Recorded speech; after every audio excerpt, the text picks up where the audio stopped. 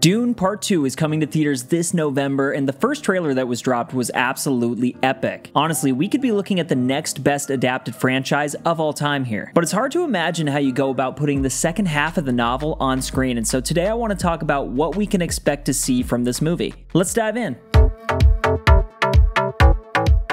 What's up, everyone, and welcome back to Jones Vibes. And today I'm talking about Dune Part 2, breaking down the trailer and also talking about what we can expect to see as well as some of the things I'm hoping to see. But give this video a like if you're a fan of Dune Part 1. I certainly am. Part 1 made me an instant fan, and Denis Villeneuve is an absolute genius. Sicario, Arrival, Blade Runner 2049. He really is one of the world's top directors right now. And then with Greig Fraser as your DP and Hans Zimmer with the score, you just can't go wrong. I mean, they both won the Oscar. So, but to start things off, I'm curious who's read the novel by Frank Herbert. After seeing the trailer for part two, I decided that I was finally going to, and I just finished it, and holy shit, guys, that book is incredible. I'm gonna try and avoid any major spoilers during this video, but if you're worried about just some of the small stuff, here's your warning. But yeah, honestly, before Dune Part 1 came out, I didn't know much about this story at all. But then Part 1 was announced, and when I saw it, it, it just blew me away. The cast was an absolute knockout. Timothy Chalamet,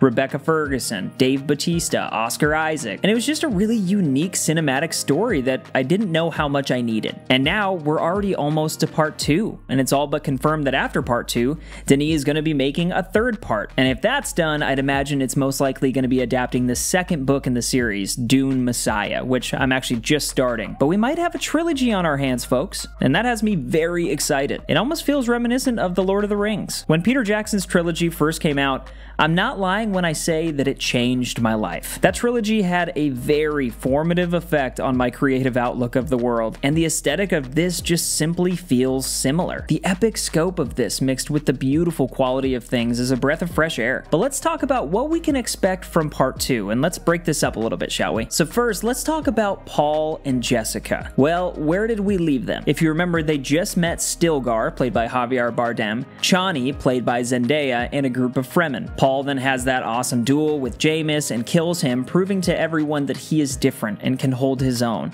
And also, it's revealed that Lady Jessica is pregnant, and now they're off into the desert to join the Fremen and remain under the radar from the Emperor and the Harkonnens. And now, the book has a few big time jumps. There's not much in the first half, but the second half certainly has some. So I'm curious how they're going to handle this. Paul grows a bit older, not much, but a bit. And I'm not going to tell you exactly what happens, but if you've seen part you can kind of see where things might be heading. When House Atreides arrives on Arrakis, there are people yelling at Paul, calling him the Lisan el Gaib, the prophet, or the Messiah. And so that, mixed with Paul's visions, show that he is destined for something. Could he be a savior? Is he truly the Lisan el Gaib? That's something you'll have to find out, but if his duel with Jamis or his random knowledge of a still suit, even though he's never worn one, is any indication, he's on a path now. And part two is gonna show that path. Jessica is very much on her own. She's there to support her son, but she lost Leto. She wasn't his wife, but she was his concubine, and she loved him. And so I think if you can expect anything, it's for her to play an even bigger role in this second movie. She's a very important element to all of this, and so is Chani. She was finally introduced at the end of part one,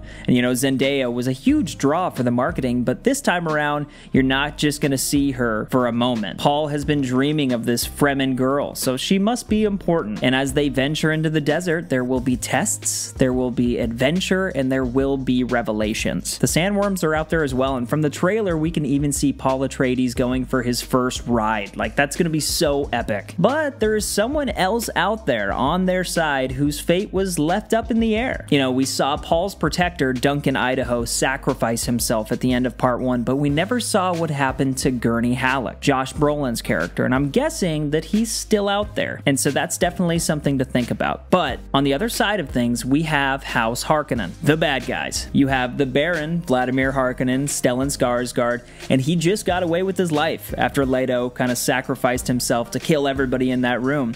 But he also thinks that he succeeded in killing off House Atreides. So it's kind of one of those things where the audience knows something that he doesn't know. And I'm just really excited to see the Harkonnens explored more. And there's also a massive character that hasn't even been introduced yet, Feyd-Rautha, the Baron Baron's nephew, a master of swords and the heir to the Baron's throne. And I'll tell you what, seeing that Austin Butler is playing him and then seeing how he looked in the trailer got me absolutely hyped. If you're unfamiliar with Feyd, he plays a big role in this story, and so we can expect some awesome scenes with him. It honestly looks like they decided to shoot some of the Harkonnen scenes in black and white as well. And if that's the case, Wow. But then we have the Emperor and Princess Irulan. Obviously, the Emperor is the end all. He holds the power. We didn't see him in the trailer, but he's being played by Christopher Walken. And you know, I think that sounds great, but we don't know what he looks like, and I don't know why I'm kind of expecting like Sleepy Hollow vibes. I guess we'll see. But his daughter, Princess Irulan, is played by Florence Pugh. And the strange thing really is,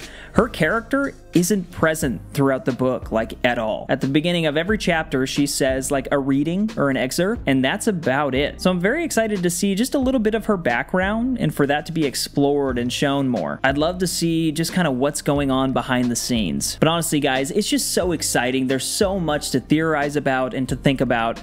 And so I guess I'll just leave it at this. I Jones vibes in predicting that this movie is going to be the best sci fi movie that we've seen in the last 20 years. You can call me crazy, but I just think that we might not be prepared for this, so you should get hyped. But yeah, that's about it for today, and so what are you most excited to see from Dune Part 2? Please let me know all of your thoughts down in the comments and spread the good vibes. Also, if you stuck with me this far, hit the like button. I'd really appreciate that support, and I'd also love to see you come back, so hit subscribe, and if you're looking for more movie and television talk, I'll clip some at the end so you can keep on watching. But Dune Part 2 is almost here, and are you ready?